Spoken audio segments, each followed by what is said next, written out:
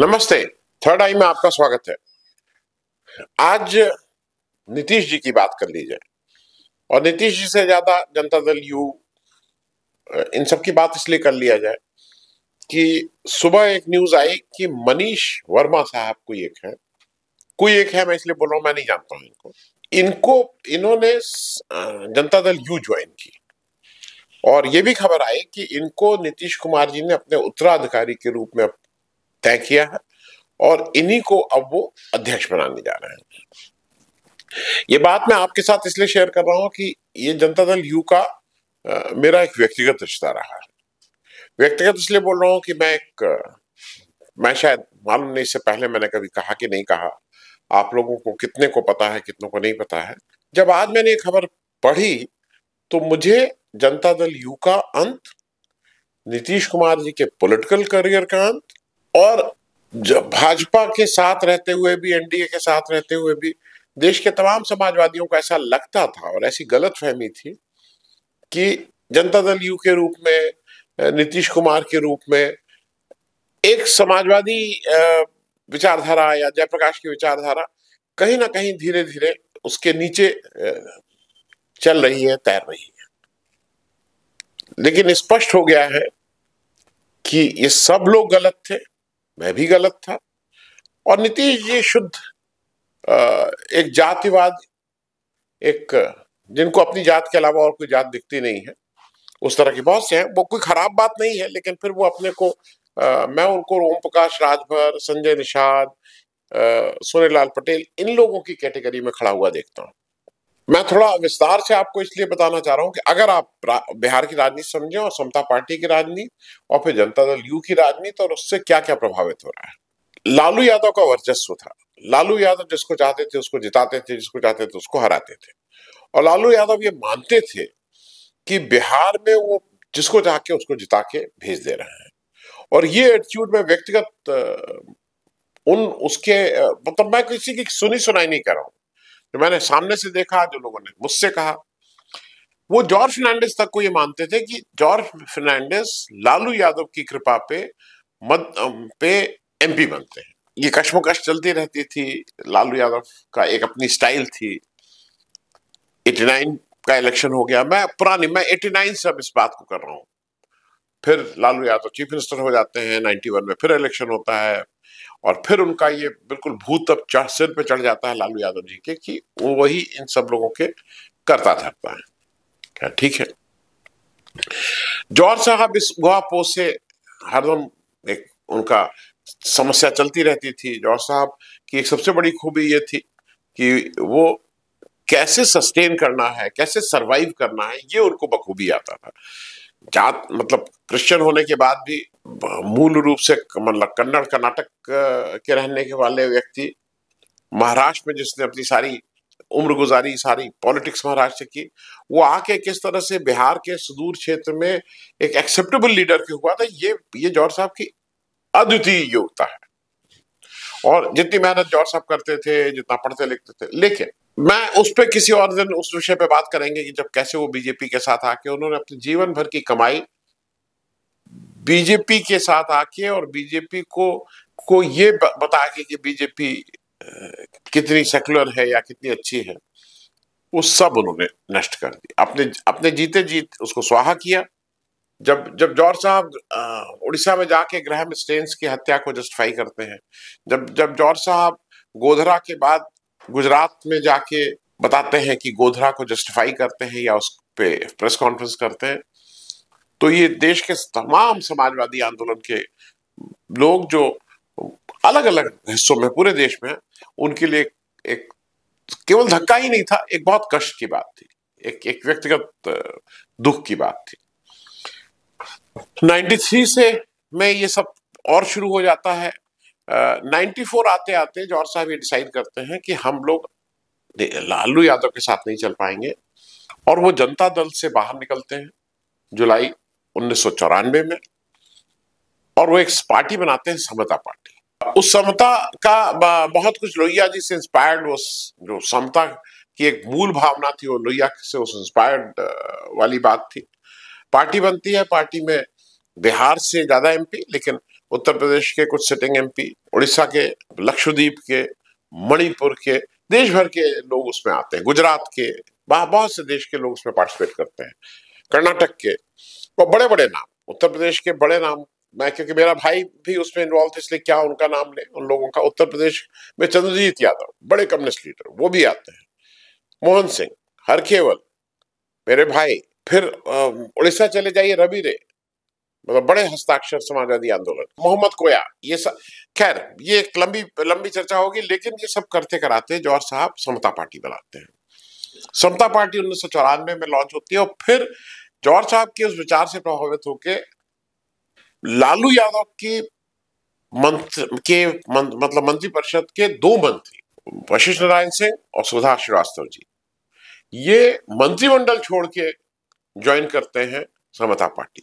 अक्टूबर उन्नीस सौ चौरानवे की गांधी मैदान में रैली होती है। उस रैली में चूँकि मैं भी मैं मैं कॉरपोरेट में था और जौहर साहब बिना मुझसे पूछे बिना मुझसे वो कि मेरा व्यक्तिगत मेरे पारिवारिक संबंध थे बिना मुझसे पूछे मुझे भी उस का कहीं ना कहीं ऑफ़िस बेरर बनता हूँ मैं। और मुझे दूसरे दिन अपनी नौकरी से इस्तीफा देना पड़ता है क्योंकि मैं नौकरी में रहते हुए ये काम नहीं कर सकता था। इस्तीफा देता हूँ मैं बहुत इंसिस्ट करता हूँ जौहर साहब से। ये सब किससे मैं इसलिए कर रहा हूँ कि शायद मैंने पहले नहीं कहा। इंसिस्ट करता हूँ कि मुझे मत बनाइए मैं बाहर से रह के ही आपकी मदद करता हूँ लेकिन वो नहीं मानते हैं और फिर वो आ, मुझे भी हिस्सा बनना पड़ता है और गांधी मैदान की एक बड़ी रैली होती है। मेरा नीतीश जी से व्यक्तिगत तौर पे उससे पहले जान पहचान थी, लेकिन व्यक्तिगत तौर पे वो एक समय ऐसा था कि जब मैं नीतीश जी के से मेरा बहुत उठना बैठना होने लगा। क्योंकि पटना में जाके वहाँ कैंप किया एक डेढ़ महीना रैली की तैयारी की। 1994 अक्टूबर चौरानवे में वो रैली हुई गांधी मैदान में। इन सबके बीच मुझे एक नीतीश में हरदम लगता था, एक पढ़ा लिखा व्यक्ति, एक इंजीनियर आदमी, ये सारी चीज़ें उनकी मुझे अच्छी चीज़ें दिखाई देती थी। चूँकि मुझसे थोड़े ही बड़े थे तो एक व्यक्तिगत मतलब अब अब इस समय चूँकि वो चीफ मिनिस्टर हैं तो दोस्त क्या कहना बहुत ज़्यादा गहरे रिश्ते हो गए थे। उसके बाद मतलब चौरानवे से लेके पंचानवे बिहार एक समय ऐसा था कि महीने हफ़्ते के चार पाँच दिन साथ ही गुजरते थे खाना दिन का साथ होता था एक, एक बहुत क्लोजनेस थी। उसके बाद मैंने जब पंचानवे का इलेक्शन हुआ बिहार का इलेक्शन उन्नीस बिहार स्टेट असेंबली का इलेक्शन हुआ। वो हम लोग बहुत शिद्दत से लड़ रहे थे। इलेक्शन लंबा खिंच गया क्योंकि सेशन उस समय चीफ इलेक्शन कमिश्नर थे, कुछ बेमानियाँ हुई थी तो जो इलेक्शन एक महीने में होना था, वो करीब ढाई तीन महीना खींच गया। मैं उस इलेक्शन को कोऑर्डिनेट कर रहा था। पहली बार ऐसा हो रहा था कि हम लोग इलेक्शन लड़ रहे हैं और हम लोग हेलीकॉप्टर हेलीकॉप्टर लेके आए थे। उस हेलीकॉप्टर की वो किस्से मतलब वो इंटरेस्टिंग किस्से हैं, लेकिन आज शायद उसका वक्त नहीं है। हेलीकॉप्टर कैसे आया, कैसे पहली बार उड़े, कैसे नीतीश जी जब पहली बार उड़े तो दो ही मीटिंग कर पाए। फिर जौहर साहब के साथ मैं एक एक दिन में बीस बीस बाईस बाईस मीटिंग करने लगा। फिर हम लोग अट्ठारह बीस मीटिंग एक दिन में करते थे। वो एक लंबा सफ़र है, वो किसी और दिन बताएँगे।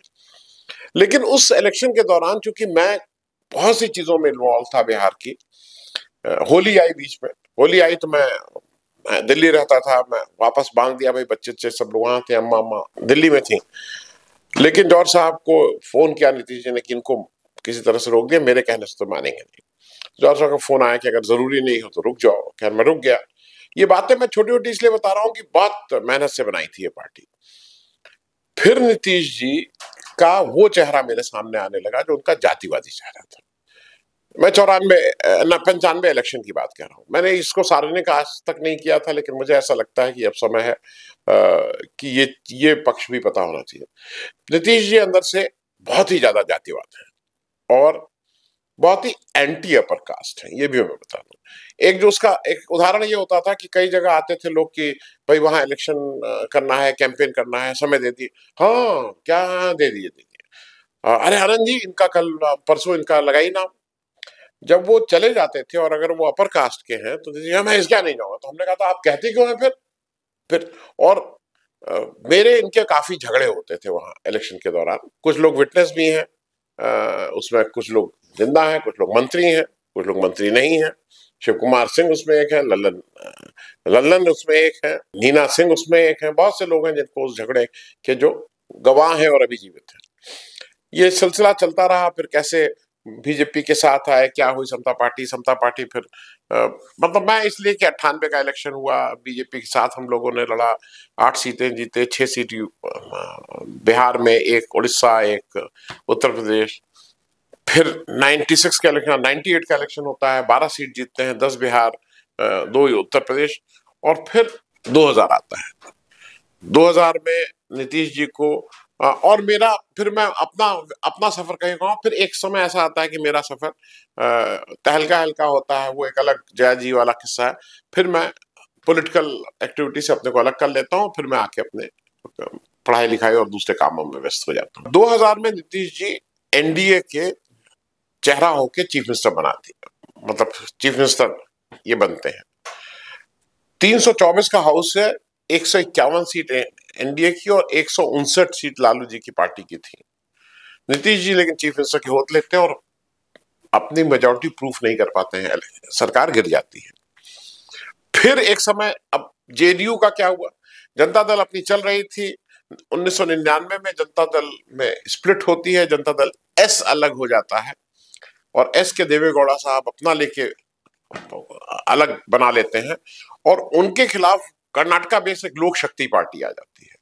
और 2003 में आते आते ये तय होता है कि ये समता पार्टी लोक शक्ति और जनता दल ये तीनों मिलकर जनता दल यूनाइटेड बन जाती है। तो जेडीयू का जन्म होता है और उस समय जेडीयू का तीर कमान निशान जो, जो जनता दल का तीर था वो इसका चुनाव निशान होता है। झंडा लेकिन समता पार्टी का कैरी किया जाता है सफ़ेद हरे वाला। अब मैं इसलिए इस इस इस इस हिस्ट्री को बता रहा हूँ कि कैसे कैसे जनता, वो जनता दल चलता है, फिर फिर नीतीश जी के कुछ पिटीनेस वाले भी आते हैं। जॉर्ज फर्नांडिस बड़े लीडर थे। मेरे मेरे एक ही, मैं एक ही आदमी को मैंने जीवन में नेता माना लीडर माना, जिस जीवित जीवित उसमें। ऐसे तो बहुत से लोग हैं, लेकिन जो लोहिया की की आइडियोलॉजी या गांधी की आइडियोलॉजी लेकिन जो जीवित उसमें, जिसको एक हार्ड मास के आदमी को आप लीडर मानते हैं, वो जौहर साहब थे। लेकिन जब जौहर साहब का बीजेपी वाला रूप और जिस तरह से वो बीजेपी की सब चीज़ों को सैंक्शन करते थे, मैं भी अलग हुआ। और तहलका में जिस तरह से डिफेंस डील होने लगी थी, उसका मैं, मेरे पास बहुत सी चीज़ें हैं जो कभी इसको भी साझा करेंगे तो मैं अलग हुआ। लेकिन नीतीश जी एक समय पूरी तरह से डिपेंडेंट थे जॉर्ज साहब के ऊपर। नीतीश जी को एक चीज़ और याद रखिएगा, नीतीश जी सतहत्तर मेरे, में एमएलए एमपी नहीं बने, अस्सी में एमएलए एमपी नहीं बने नीतीश जी 84 का एमपी का इलेक्शन हार गए। नीतीश जी पचासी में पहली बार एमएलए बने थे, बिहार और 89 में पहली बार वो एमपी बनते हैं, दिल्ली पहुँचते हैं। और देवीलाल के साथ वो जब पहले एग्रीकल्चर मंत्री होते हैं, बाद में जब एक्सपेंशन होता है तो देवीलाल के साथ छोटे मंत्री डिप्टी मिनिस्टर उस समय हुआ करता था एग्रीकल्चर हैं सफ़र यहाँ से शुरू हुआ है, कोई इनका 77 का सफ़र नहीं है। उस मामले में, लालू लालू जी इनसे बहुत सीनियर है। पॉलिटिकल अगर इस, इसको देखा जाए, कौन जीता था। नीतीश जी, उस जॉर्ज साहब को जो एक तरह से मेंटोर गुरु सब कुछ थे, उनका 2009 में टिकट काट देते हैं। मुजफ्फरनगर जौहर साहब को पहले नालंदा ले जाया जाते हैं, वहाँ से एमपी बनते हैं। दो हज़ार नौ में जौहर साहब का टिकट कटता है। जौहर साहब फिर भी जाके मुजफ्फरनगर से लड़ते हैं। मुजफ्फरपुर से, माफ़ कीजिए, मुजफ्फरपुर से लड़ते हैं, बुरी तरह से हारते हैं। वापस आ जाते हैं। नीतीश जी का, शरद यादव जी आ जाते हैं। शरद यादव जी के साथ पहले वो अच्छा संबंध रहता है बाद में खराब संबंध रहता है ये मैं चीज़ों को जल्दी फास्ट फॉरवर्ड इसलिए कर रहा हूँ कि किसी व्यक्ति की कुछ चीज़ों को आपको जानना ज़रूरी है। जौहर साहब का टिकट काटना, फिर जब शरद यादव जी की मृत्यु होती है तो नीतीश जी चीफ मिनिस्टर थे, सारे सुख सुख मतलब सारी सुविधाएँ थी हेलीकॉप्टर था, जहाज़ था, कहीं कोई ये नहीं देखना है। पहले समाजवादियों को होता था, जाए कैसे, पैसा कहाँ टिकट कैसे, कौन कटाएगा? कोई इस तरह की दिक्कत नहीं थी। लेकिन न उनके अंतिम संस्कार में, न उनकी तिरही में, न उसमें किसी में शरद यादव जी के साथ के उसमें ये शामिल नहीं हुए थे। मैं सिर्फ़ ये बात इसलिए बता रहा हूँ कि पेटीनेस किसी व्यक्ति की शो करना है। नीतीश जी को सारी पार्टी में अब वो कहें कुछ भी नीतीश जी ऑन रिकॉर्ड है कहते हुए कि प्रशांत किशोर को उन्होंने अमित शाह के कहने पे अपने यहाँ लाए थे। अमित प्रशांत किशोर से बड़े इंप्रेस थे। फिर नीतीश जी धीरे धीरे धीरे धीरे नीतीश जी को आरसीपी सिंह नाम का एक व्यक्ति मिलता। आरसीपी सिंह उत्तर प्रदेश में आ, के अधिकारी रहे आईएएस रहे हैं। बेनी वर्मा जी मतलब बाराबंकी के डीएम रहे हैं तो बेनी वर्मा ये सब कुर्मी नेट है। बेनी वर्मा कुर्मी, आरसीपी सिंह कुर्मी, ये सब लोग कुर्मी नेट से एक दूसरे के बहुत घनिष्ठ होते हैं। बेनी वर्मा दूसरी पार्टी के होते हैं, लेकिन अंडर जो एक बुनियादी वो रहता है, उससे नीतीश जी से जुड़ते हैं। नीतीश जी को ये, जब ये रेल मंत्री बनते हैं तो आरसीपी सिंह पहुँचते हैं वहाँ। फिर आरसीपी सिंह इनके साथ साथ, फिर बिहार भी पहुँच जाते हैं, इनके प्राइवेट सेक्रेटरी होके। और फिर आरसीपी सिंह में इनको ऐसा दिखाई देता है कि सारा दुनिया इनको दिखाई देने लगती है, क्योंकि वो कुर्मी चेहरा है। आरसीपी सिंह को ये पार्टी आरसीपी सिंह फिर पार्टी की कमान संभालते हैं एमपी होते हैं, फिर बाद में अकेले वो होके मंत्री भी होने हो जाते हैं, ये सारा कुछ आरसीपी सिंह करते हैं। और नीतीश एक नौकर शाह के हाथ में छोड़ देते हैं पूरी पार्टी को। आरसीपी सिंह इनको जो धता बताते हैं और जिस तरह से बीजेपी के साथ जाने की बात करते हैं, नीतीश जी को वो होता है, फिर पार्टी में ये ललन सिंह को अध्यक्ष बनाया जाता है, इत्यादि इत्यादि। जब इंडिया गठबंधन बनता है, उसको बनाने में नीतीश का बहुत बड़ा हाथ था, इसमें कोई दो राय नहीं है, लेकिन उनका बहुत लंबे साथी ललन सिंह पहले दिन से उनके साथ हैं, कंधे से कंधा मिला के उनकी गलत, सही सारी बातों में साथ देते आए हैं, लेकिन नीतीश जी को उनके ऊपर विश्वास नहीं है। और इसीलिए उनको अध्यक्ष की जगह खुद अध्यक्ष बन जाते हैं, जबकि चीफ मिनिस्टर थे, कोई ज़रूरत नहीं थी। खुद अध्यक्ष बन जाते हैं। अब वर्किंग प्रेसिडेंट संजय झा को या किसको, जो झा जी एक है वहाँ, उनको बनाया है। लेकिन उनको ललन सिंह के ऊपर यह विश्वास नहीं था। अब वो बिल्कुल नवीन पटनायक की तर्ज पे वो अब एक नया खेल खेल रहे हैं। उनको एक फिर अपना स्वजाति, मनीष वर्मा नाम है। मनीष वर्मा आई एस अधिकारी रहे हैं। उड़ीसा काडर के। उड़ीसा काडर से उनको, अब चूँकि उनमें, उन्हीं की जात के थे तो उनको, उनकी जात के थे, उनके ज़िले के थे, नालंदा ज़िले के हैं। तो नालंदा, नीतीश जी का जिला है तो वहाँ के थे, ये सारी कुछ अच्छाइयाँ उनको देखने लगी, और कुर्मी तो थे ही। उड़ीसा से इनको ट्रांसफ़र करा के बिहार लाते हैं, बिहार में कई अलग अलग पद पे उनको दिया जाता है, पटना के कलेक्टर भी होते हैं। अंत में जब चूँकि कार्डर में आप एक समय सीमा होती है उतने ही दिनों तक दूसरे स्टेट में रह सकते हैं। वापस जाने की बात आती है तो 2018 में इस्तीफा देके फिर ये नीतीश जी के कुछ कुछ एडिशनल प्राइवेट सेक्रेटरी या प्राइवेट सेक्रेटरी के तौर पे काम करने लगते हैं। नीतीश जी ने अब इनको फिर से पार्टी मंडट किया और ऐसा कहा जा रहा है कि उन्हीं को अध्यक्ष बनाया जा रहा है और वो उनके उत्तराधिकारी होने जा रहे हैं। मुझे एक एक कष्ट इस बात का है कि एक एक व्यक्ति जो, जिसने बहुत प्रॉमिसिंग था लंबे समय तक बिहार में बीस इक्कीस साल तक चीफ मिनिस्टर रहे, सुशासन बाबू, ये सारी चीज़ें अच्छी हैं। लेकिन नीतीश बाबू को अगर कोई नौकरशाही में अपना उत्तराधिकार दिखता है तो ये जरा सोचने वाली बात होगी। मैं हरदम मानता हूँ कि पॉलिटिक्स बहुत ही पायस बहुत ही ईमानदारी का खेम, का का कार्य है। समाज सेवा है ईमानदारी चाहिए देश को ज़रूरत है। अच्छे लोग नहीं आएँगे तो पॉलिटिक्स नहीं देश की चल पाएगी। ये सारा कुछ होने के बाद भी आपको पॉलिटिक्स पॉलिटिशियन और नौकरशाह में फ़र्क करना होगा। नौकरशाह एक दूसरी तरह से उसकी ट्रेनिंग होती है। हुक्म बजाने का काम होता है। नौकरशाह नेता नहीं हो सकता है। नौकरशाह लीडर नहीं हो सकता है। आ, मैं ये जनरल स्टेटमेंट दे रहा हूँ। मैं ये कह रहा हूँ, नौकरशाह उस बड़े कैबिनेट का हिस्सा तो हो सकता है, लेकिन वो लीड कैबिनेट को नहीं कर सकता है, क्योंकि नौकरशाह की ट्रेनिंग दूसरी है। नौकरशाह को जब सच सच कहना है तो नौकरशाह की इस देश में कितने नौकरशाहों की हिम्मत हो, है, जो खड़े होकर सच को सच कह दें? क्योंकि अगर पॉलिटिकल लीडरशिप कह रही है कि ये खराब, ये चीज़ है तो सिर झुका के हाँ करते रहना है।